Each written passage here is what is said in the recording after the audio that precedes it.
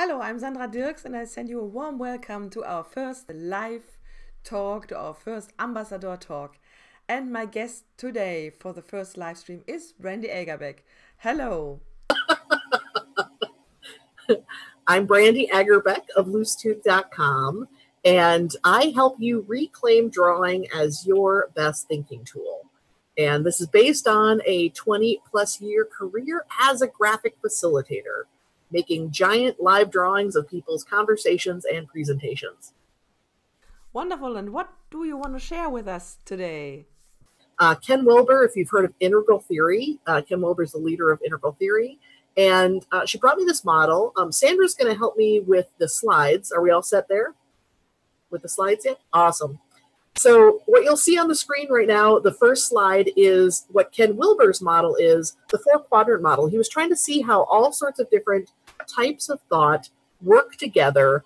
And he created this two by two matrix. Um, I'm a big fan of two by two matrices. So um, on the left side of the model, you see the um, on the left side of the model, you see what's internal. On the right side, you see you see what's external. The top half of the model is the internal, uh, sorry, the individual experience, and the bottom half of the model is the shared experience, the collective experience. So with this model, you see these four corners.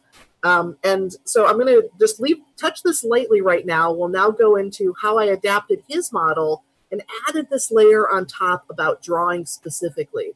So we can all find really wonderful reasons to draw. So Sandra, if you don't mind, the next slide. Um, so first, the upper right-hand corner of the draw quad is this individual um, objective external type of drawing. And this is drawing to see. This is drawing, you know, if I were to draw Sandra's portrait, that it looks like Sandra. Um, if I was drawing a still life, you'd know what objects made up that still life. And this is sort of drawing the thing that you see outside of yourself, drawing to see. And this is, I think, a very beautiful skill to learn. And I'm thankful you know, I have learned it from my past experience in fine arts. But um, the trouble is that it's only one fourth of the drawing.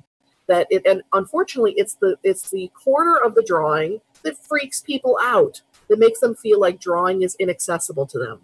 So um, if I think uh, if we got the next slide with the little circle that says drawing is so much more.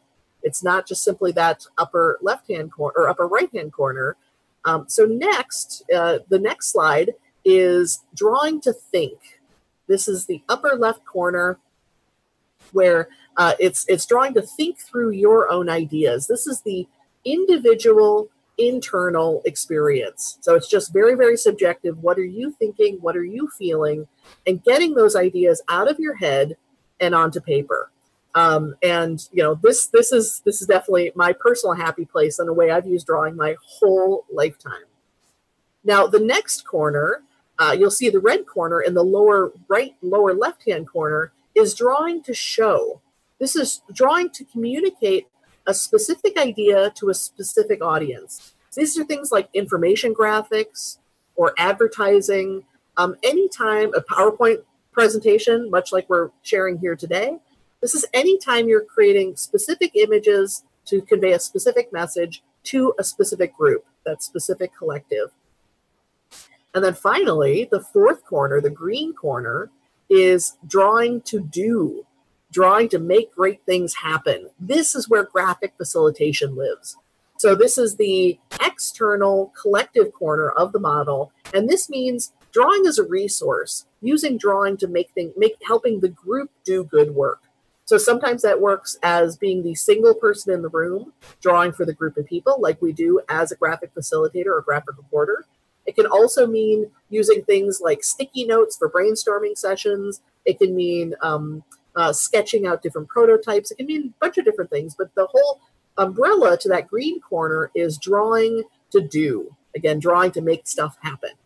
So this was really looking at, again, taking that first layer of the Ken Wilber model and adding this layer of drawing on top of it to help you think more broadly about different types of drawing. Because again, I think what happens so often is people only think of drawing as uh, representational drawing. Drawing, you know, again, I'm drawing Sandra's portrait and it looks like Sandra. And it's a kind of drawing where we uh, add a lot of judgment There's a lot of the drawing is good or the drawing's bad or the drawing's pretty or the drawing's ugly. And that really limits our ability to use drawing to do a whole heck of a lot of great work. So um, now another layer I like to add, a third layer I love to add to this model is um, the next slide. If you imagine that the, now just think about this, this model kind of grayed out, we're gonna add two lines on top of the model. The first one is the uh, model that, that, that goes through the blue and the red quadrants.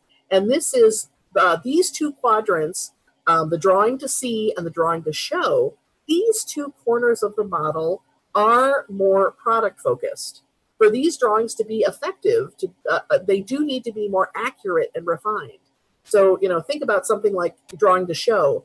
If you're creating a PowerPoint presentation for a specific audience, like um, you know, knowing your client, you need to know what the client's brand colors are. You know, is there do you need to know the colors of the competitor? You know, you need to think about how are how are you creating images that work for that specific audience. Um, uh, and the seed, like I said, if I'm drawing Sandra's portrait, it looks like Sandra. Now, if you go to the next slide, that is my happy place. And I think this is why a lot of us are here today and why we so love Neuland and the awesome tools that they, they produce for us. And that's that the other the other diagonal on this model is um, going through the drawing to think and the drawing to do corners. These are drawings that are focused on process. So it isn't about pretty or ugly or good or bad. The only judgment of the process focused drawings are do they get us a step farther in what we're trying to do? That really is the key there. So, and, uh, and unlike the product focused drawings that need to be more refined and accurate, the process focused drawings are actually better when they're fast and messy because it is just sort of getting these ideas down, getting them out of your head onto paper, getting all those voices in the room on a big sheet of paper up on the wall. So all of those types of drawings um, really are about fast, messy, get stuff down and get moving, get working with it. Um, and uh, the next slide, you'll see exactly how I use the um, uh, how I connect the process focused drawing to my two books. So um, they are color coded. the yellow book, uh, the first book, my the green book, the Graphic Facilitators Guide, is entirely focused on drawing to do that green quadrant, that green port, the green corner of the quadrant. And then the latest book, The Idea Shapers, is all about individual meaning making, visual thinking for yourself. Now, there's certainly a really nice um, connection between the two, but that's that's where they came from. And uh, a question people often ask are, when is the red book coming and when is the blue book coming? They aren't. Plenty of other people are doing really great books and uh, res- building resources around those more product focused drawings. You know, again, what I'm here to do is help build resources to help you use drawing as your best thinking tool. So I think that is the draw quad. Oh, oh, one quick last thing. So if we go to the next slide, you will see this is one of the things I absolutely love, and this just reinforces um, process and product. The drawing here in English uh, is both a noun and a verb. And the issue is that um, when you think about drawing as a noun, that's when you get into that product focus. That's when we tend to limit what we think drawing can do. But drawing is also a verb, and that's drawing as a wonderful tool, as a wonderful process that lets us make great things happen. So really in all the work I'm doing, when I'm teaching an online class, if I'm leading a lab in person, if I'm speaking today here on this on this um, in this interview, it is all about focusing on drawing as a verb, drawing as a process. And again, the only judgment of these drawings is what does it help you do? And that's a very quick snapshot of the draw quad. Yeah. So I, yeah. Great. I hope they um, the audience can listening or can hear me now. We so, so, thank you for for that. So we have another yeah. slide. So oh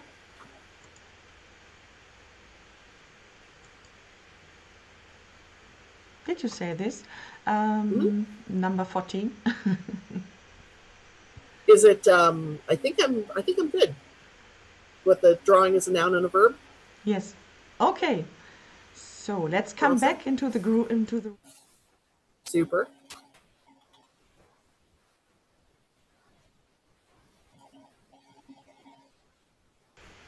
people say they can't hear me, but can you hear me now? I see. Uh, yes, Sandra, loud and clear. And thanks, Brandy. Ah, Yep, okay. sounds like- sounds like we're good. Yay! okay, wonderful. So, okay, are there any questions in the chat? I, I'll have a look now. Are there any questions for the drawing quad for Brandy in the chat? Yeah. And also, I'd love if people comment where do you see your work? What corner of the draw quad do you see your work? Is it drawing to see? Is it drawing to show? Um, you could say the, the color or the word. So, is it a question in in in, in the uh, in the Just chat? if, if yeah, if, if people want to answer in the chat what corner of the draw quad they see their work, and it could be more than one for Ah, sure. okay. Not everyone works just in one corner. Yes. So yes, I perhaps I, if if people can hear me now, I can I can say perhaps what uh, that uh, the model helped me to understand. oh yes, that. please. So so um, so for me it was very important to to uh, to get a new focus um, because um, so this this made my drawings more simple. And um, I started with the first book and um, and then I, I, have seen you explaining this model so yes! So now I prefer the the process. So sometimes I'm preparing something but it, it's it's so great to work with the group and to Yeah. um, to see the um, the ideas uh, coming up and to do with life Yeah. and so people always are afraid of doing this live uh, Yeah. even if they they are they're in a workshop for a different subject so no facility no graphic facilitators or graphic recorders but uh, people appreciate if they do something live readable and uh, so have fun in drawing something and uh, Yeah. even if i'm not able to draw animals people love it if i'm drawing a Yeah. horse or whatever Yeah. is needed and so the, the idea to, to see it as a process helped me so much to get more be more confident so let's see what what's in the chat Yeah. And I think just to quickly comment while you check the chat that um I you know that that idea of um, when you stay process focused and keeping it simple because it is live, it is real time in this particular role of graphic facilitation. And um, I know that I, you know I totally understand that as people are doing this work, you feel like you're performing. You know, you, there's like there feels like a lot of like a lot of pressure of I'm making these drawings in front of people, therefore they have to be perfect. And actually, the opposite is true. They're simple, they're direct. It's more important that it's fast and that it's keeping up with the content, what people are saying in the room.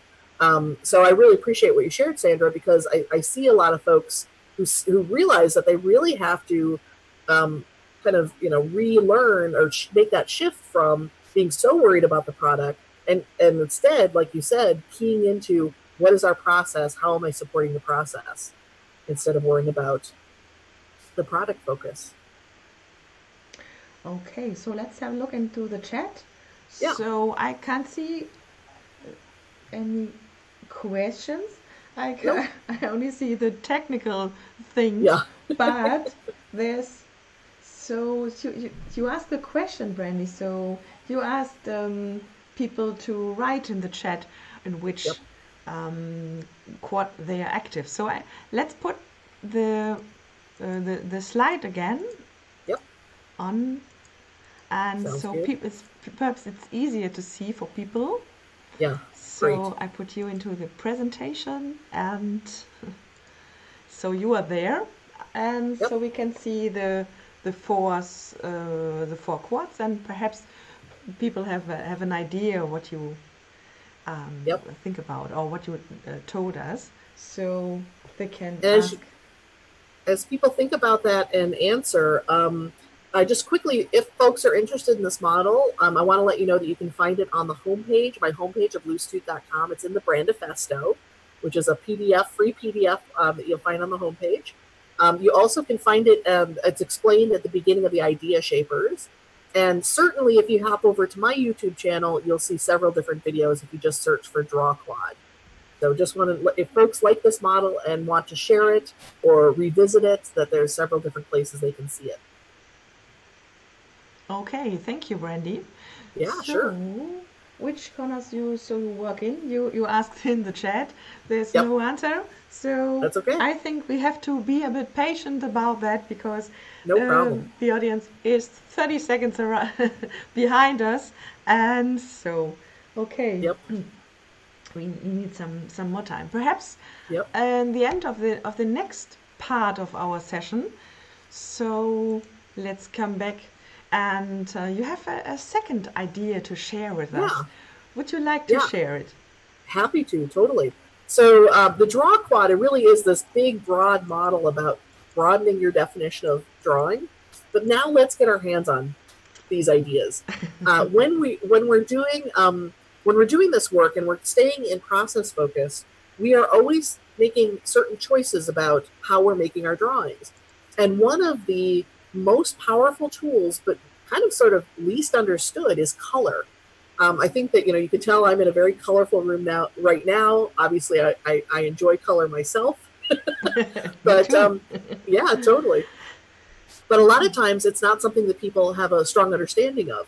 So um, one thing, one one specific tool, and again, you'll find this again in the idea shapers, is um, this specific idea shaper, the specific visual thinking tool of the trio.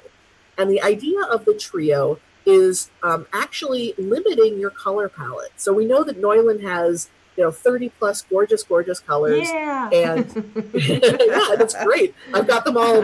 Um, I can't show you right now, but I've got them all kind of in these wonderful bins on my wall right over there.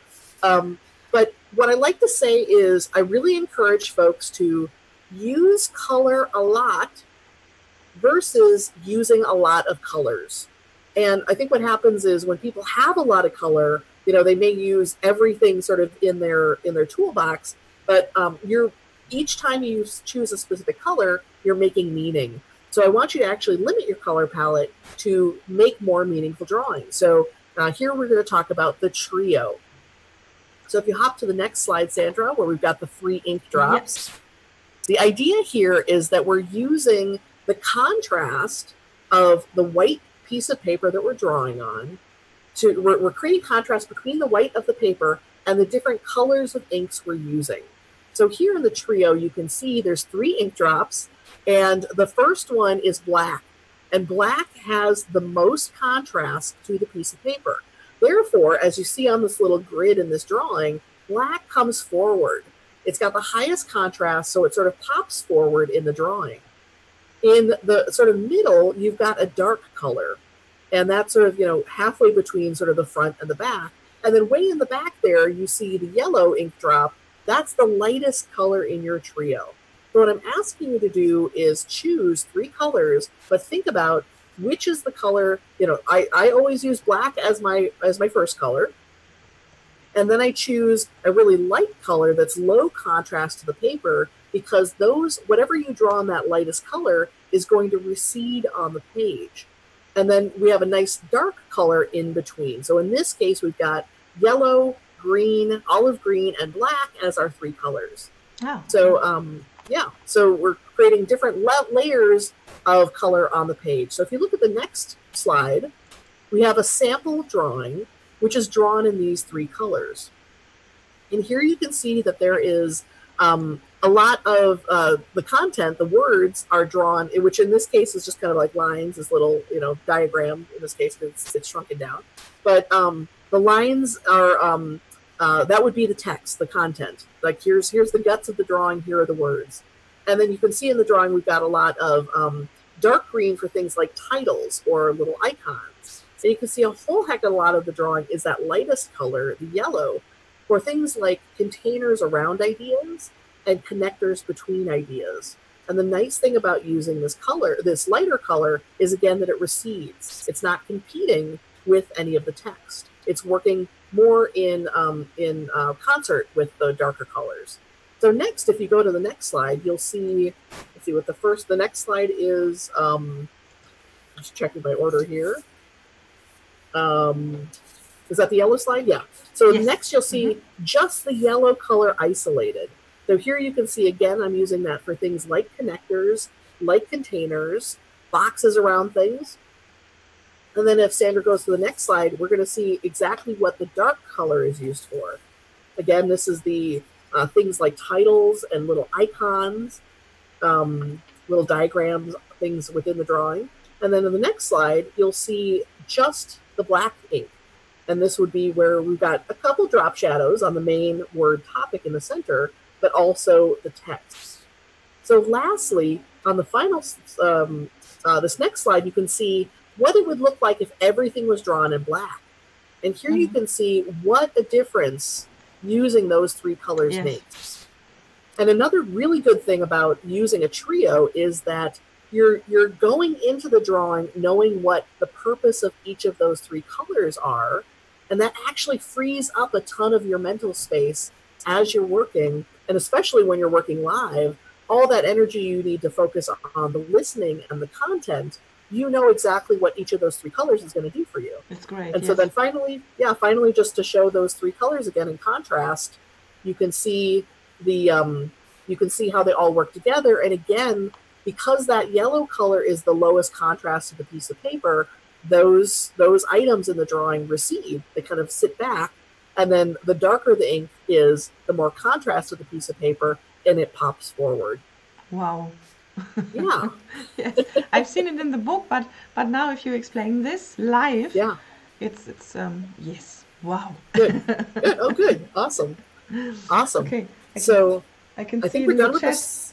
Olivier Is it working? writes um, great idea for the trio. Yes. Excellent. hmm Awesome. And I think we're done with the slides. Yes. If we're good there. Then I can also show some examples. Uh, so, what um, this is another version of the drawing. I just have to get the right angle so we can see it on camera here. Yes. Just a You know, bit so to the mid, uh, to the to the other to the left. Yes, and bit, a bit higher, Like please. Yes. A little higher? great. I think Yep. this is great. Mm, So, so here you can see this is um, uh, in in Neuland colors. This is 100 black, 200 red, and 600 orange. Um, and they may look. I have a lot of lighting here in Chicago, so if the colors look strange, that's just because of lighting. Like this Yeah. is an example with um, 600. The uh, again the orange here. It looks a little yellow on my screen, but um, 304, the nice dark blue, denim blue. Um, Yeah. And again, this is you know again we can use all the different colors for for depending on what drawing we're doing. Um, here you can see 600 the orange, 101 the gray, and the black. Ah, you use the gray different, so this is great Yeah. to see. So, so the gray is um, often used. Uh, I use the gray often similar to the yellow, and Mhm. uh, it's good to see that the gray has another uh, another idea. Or there's another Yeah. use for gray. Um, Yeah. This is a different thing. Yeah. Thank you. Yeah, no, you can. Yeah, sure. Um, yeah, like uh, there's um, let's see here. I've got um, like here's an example of this is the yellow and the gray. It's a nice combination. Mm-hmm. So that's the 500 yellow and the 101 gray. Yes, So, and it's it's yeah. great how this works, even if this is um, there's the um, the yellow and the gray. They are Mm-hmm. n- not these heavy colors, so Yeah. it's it's great that it works. Yeah. hmm Yeah, and um, so in this particular case, all of these cards are. Um, I'm I finally am working on my own kits, my own ambassador kits, um, and trying to find what I what I did was I took the the colors I chose for my kits and showed how many different color combinations you can use. I think I, I think it's like eight or nine colors, hmm maybe ten colors. Yes. Um, but you can get a lot of different um, effects with that set just by choosing different yes. trios. Yes. So here you can see there's a cool colors here with a 301, a 400, and a 100. Yeah. And what are you? Um, Um, if yeah. you plan these these colors, do you use the colors of the client? Do you often uh, say, okay, it's a logo with uh, green, so I choose the green with a similar color for that? It all depends. I definitely want to coordinate. Um, if there is um, any kind of theme colors for the event, I keep I keep that in mind.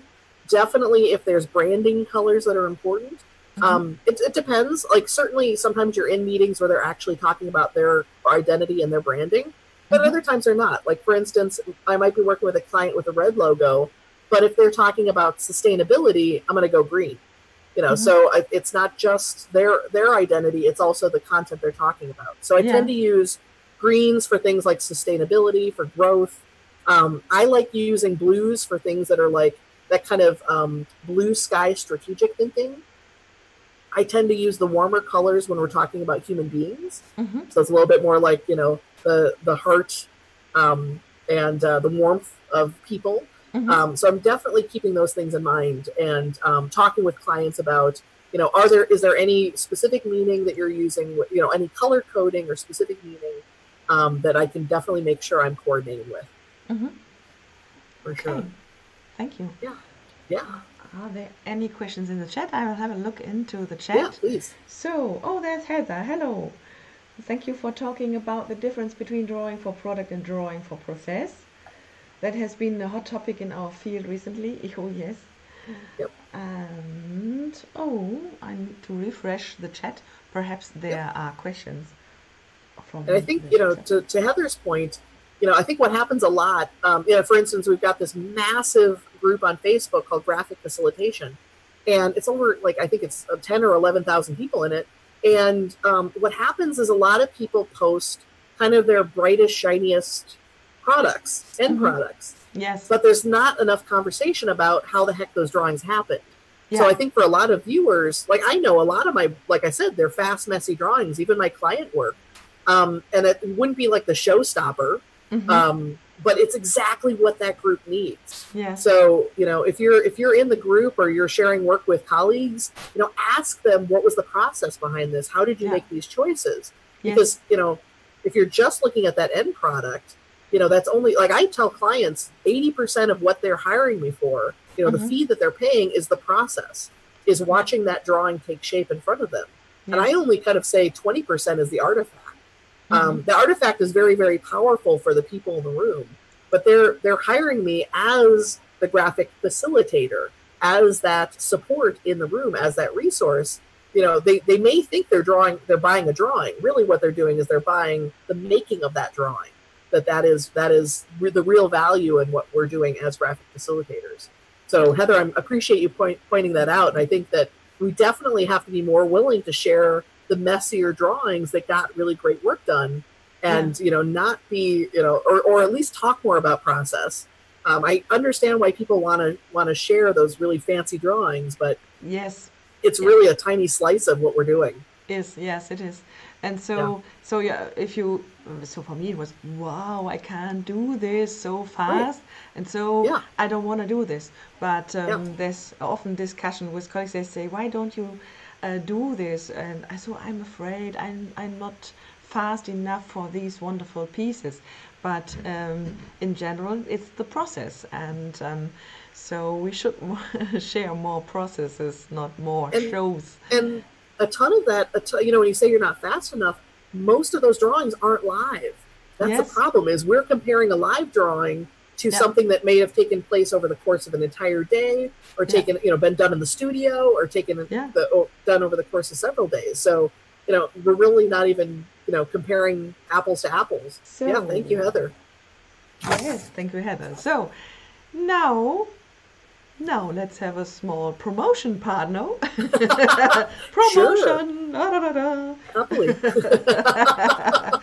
if you book now, you will get yeah, right. an extra, an extra smile extra. from I both can, of I, us.